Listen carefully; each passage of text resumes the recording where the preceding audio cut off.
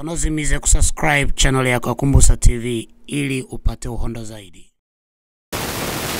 Assalamu alaikum warahmatullahi wabarakatuh. Kwa majina mimi en Maingwa ama ninajulikana kama Old Scorpion ama mzee wa Chisusi, vile unavyohitaji unaweza ukaniita.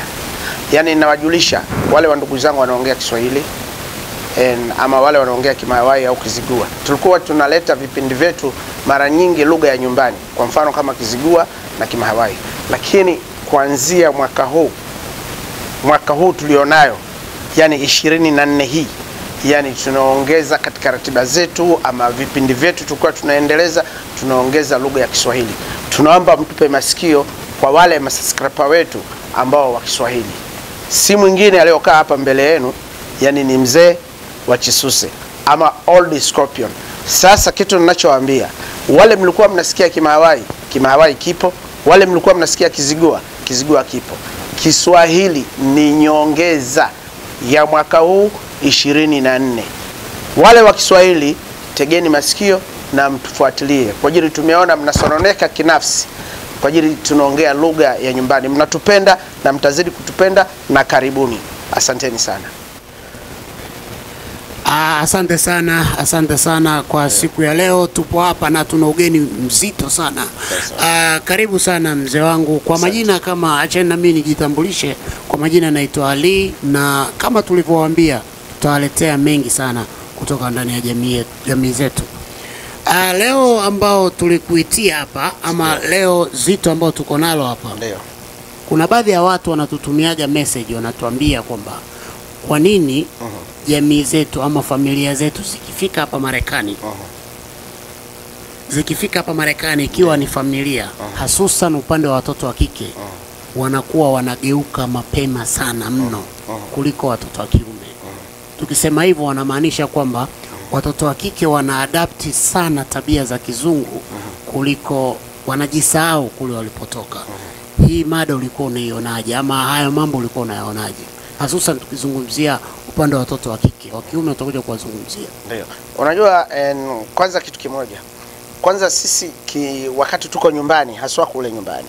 yani tunatamani sana kuongea lugha ya kigeni haswa kizungu, kimarekani ki, ki, labda. Tuseme ama Kiingereza. Tunatamani sana kuongea. Na mtoto wa kike tukishamleta hapa anaona kule alikuwa anatamani au anasia ashafika. Alafu mtoto wa kike ni chombo ambacho cha kujifaharisha haraka sana, yani penda kuwa fahari haraka, yani na wamekuwa siku hizi hawajiamini hata pia na yale maumbile aliyowapa Mungu. Unaona, mara wamejichubua, wamewekwa nywele za zaidi, yani yoyote wanatafuta ufahari fulani au kupendeza fulani.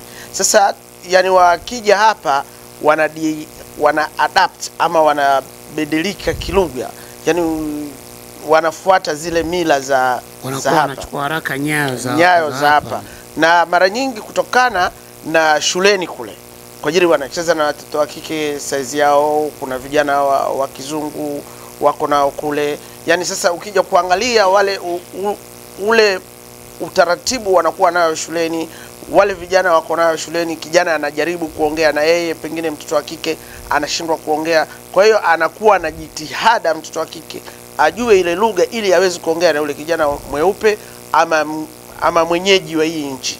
Kwa hiyo utakuja kuona baada yeye amfundishe lugha yule kijana, yeye ndio anapotea anaingia katika ile family. Sasa utakuja kuona unamuuliza jambo ambao wewe linakuhusu ndani ya family, yeye anakuambia I don't know, au unaweza ukamwambia kitu yani unataka yeye awe sawasawa, anakuambia I know tayari I know ile ametoka nayo kutoka kule, ashajua kabla, anakuambia nimejua.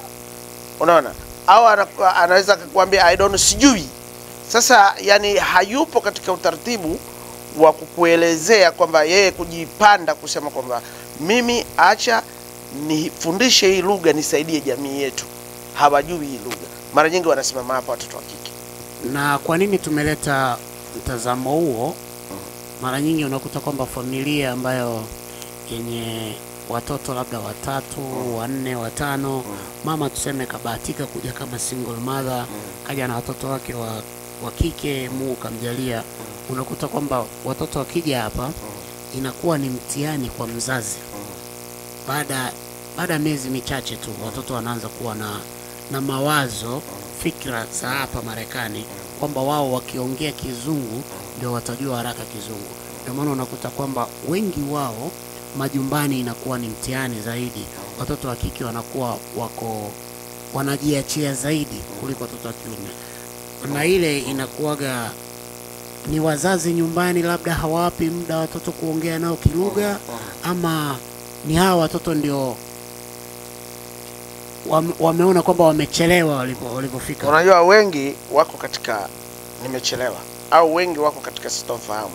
Unajua eh, mtoto yoyote akiletwa mali, yani ugenini kokote, kwa mfano wewe umesafiri na watoto wako ukaenda mahali, sasa pale ulipoenda, kabla hamja sambaa, mkiambiwa karibuni, mkaeni hapa, yani abidi ukae kwanza na wale watoto wako, waambie hapa tumekuja ugenini, tunaenda hivi hivi hivi hivi, sisi dasturi yetu ni hivi na hivi na hivi. Kwa hiyo sisi wazazi pia tunachangia, wale watoto hatukai nao tukawaambia kwamba hapo tuliokuja hapa, yani pana mbili tatu na sisi tunatakiwa ndani ya nyumba hii kuna sharti hili na hili. Kwa ajili mtoto akijua kwetu kuna hivi, ina maana kwetu nikiingia ndani navua viatu, ina maana atavulia mlangoni. Lakini sasa akiona baba anaingia na viatu, anajua kwetu watu wanatembea na viatu, anaingia na viatu vyake, au mama anaingia na viatu, anaingia ndani, anaingia na viatu. Lakini akikuona wewe unavua ukiingia, hata yule mgeni mwingine akiingia lazima avue. Sasa sisi wazazi pia sometimes tunachangia, hatuwapi masharti ya nyumbani kwetu, hatuwaambii mila na desturi zetu. Ni vizuri tuwaambie mila na desturi zetu. Aliyochukuliwa na Mungu aliyompinda atakuwa amepindika, lakini baadhi yao watakuwa wanatuelewa. Sisi pia tunaruka. Kuna wazazi wengine utamwona anaongea kizungu kwa kumfuata yule mtoto, kumbe yeye anampoteza yule mtoto. Ukija kumuuliza anakwambia mi mwenyewe najifunzia kizungu. we ujui kizungu, unamfuata mtoto. Ongea naye ukiwa nyumbani, mtoto wako ongea naye lugha yako.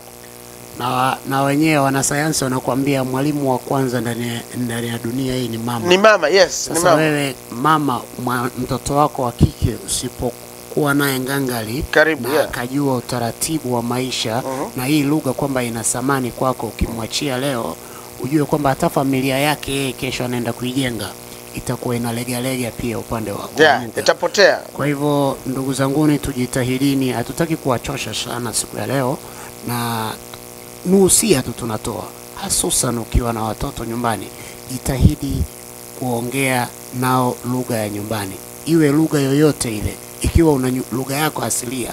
Kwa mfano, sisi tuna marafiki zetu kibao sana, wanakujaga, mtu anashangaa anasema, mimi sijijui natoka wapi, hasusan Yeah. watu weusi Hawajui kabisa. hawajijui Yeah. wanatoka wapi.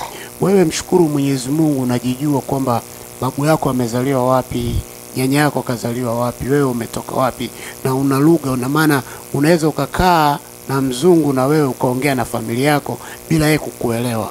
Ni jambo la muhimu zaidi. Kwa hivyo tuweni makini sana. Labda wewe kwako, katika nikukate katika kauli zako, mm. utatoa usia gani hususan kwa jamii zetu hizi zinakuja na, na lugha zetu tofauti tunakuja Mimi nitawaambiaje ndugu zangu na jamii zetu, haswa lugha yako usikane. Lugha yako ni lugha yako, hata kama unaongea kama ndege, ni lugha yako. Jivunie kwenu ili uwe una kwenu. Ukiacha kwenu, ina maana wewe utakuwa mtumwa. Sasa watoto tujitahidi sana kuwaongelesha lugha na kuwaambia mila, kwa ajili kuna watu wengine wanaona aibu kwa ajili mila yake labda imekaa hivi. Hapana, mila yako ni mila yako. Ukiacha mila yako unakuwa mtumwa, unapotea. Kuna watoto wengi ambao wa, wanakuwa hawezi kumsaidia mama. Mama anataka msaada, au edha umempa karatasi asome, anasoma kizungu lakini kilugha yako hawezi kukwambia hawezi kutafsiri. Hawezi kutafsiri, sababu ni wewe unampoteza yule mtoto. Jaribu kukaa na mtoto, wewe mama au mzazi, kizungu utajifunza lazima hapo ulipo. Usiwe kwamba na wewe unapotoka kwa kupoteza watoto. Wewe kaa kwenye laini yako, unajua umetoka wapi, umezaliwa wapi na ni mtu wa wapi. Watoto wako wafundishe, ili na wao wajivunie kule wanakotoka. Sasa hivi wazungu uh, tuseme wa ndugu zetu au weusi tuliowakuta hapa wanaanza kusearch au kutafuta wapi tumezaliwa, baada ya kuona sisi tunafanana na wao, lakini tuna lugha nyingine. Kwa hiyo kaa chini, ongea na mwanao lugha yako yoyote iliyokuwa, uwe Msudani, uwe sijui Mpokomo, uwe Mzigua, uwe Mawai, ongea na mtoto wako lugha yako, ili kesho aweze kukuokoa na yeye aweze kuokoa jamii yake. Asanteni sana. Uh, kwa siku ya leo naona tutakomea hapa ndugu zanguni, lakini hiki kipindi hasusan kwa lugha yetu ya Kiswahili tutaendelea kuwaletea watu tofauti tofauti na maoni tofauti tofauti, na video yetu ikikukuta, usisahau kusubscribe na kucomment hapo chini, chochote kile unachoona kwamba hiki kinaweza kikaleta matumaini ama mm, manufaa kwenye jamii yetu, basi wewe jaribu kutuandikia na tutakuwekea kwa kila website zetu na namba zetu za simu, uwasiliane na sisi ili kusudi tuweze kukufikia pale popote ulipo, na kama una maoni yoyote usisite kututafuta. Asanteni sana, kuweni na usiku mwema. Sonozimize kusubscribe channel yako ya Kumbusa TV ili upate uhondo zaidi.